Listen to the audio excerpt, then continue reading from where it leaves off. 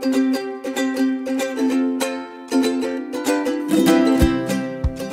this video, we will talk about 5 simple ways to get more fiber in your diet. So, why is it important to have fiber in our diets?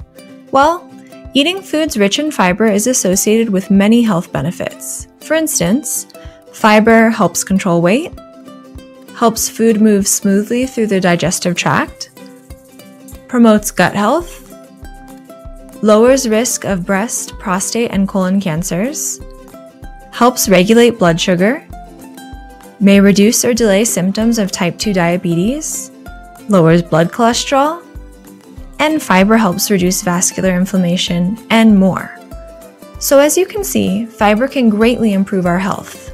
Yet, despite all of these benefits, fiber is underconsumed. In fact, many Americans only consume about half of the recommended daily fiber intake.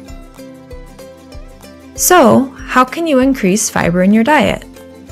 How about considering these five simple tips? 1. A great way to increase fiber is to eat more beans, which are one of the most fiber rich foods. Try adding them to salads and soups, blending them into sauces, or enjoying bean burgers and bean dip. 2. Another great way to increase the fiber in your diet is to eat whole grains instead of refined grains. For example, choose brown rice instead of white rice, and switch out white pasta for whole grain pasta, and white bread for whole grain bread. Beyond these, there are many other whole grains to experiment with, such as oats, quinoa, farro, bulgur, and more. Next, include vegetables with most of your meals.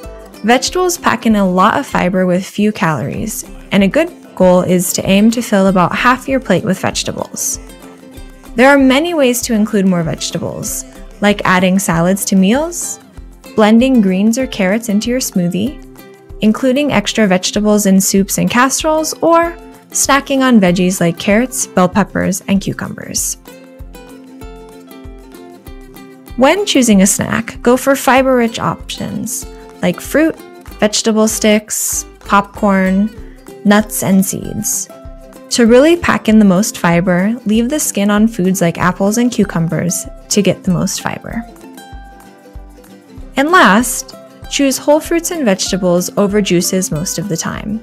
This is because juicing removes fiber, so it is better to enjoy whole fruits and vegetables.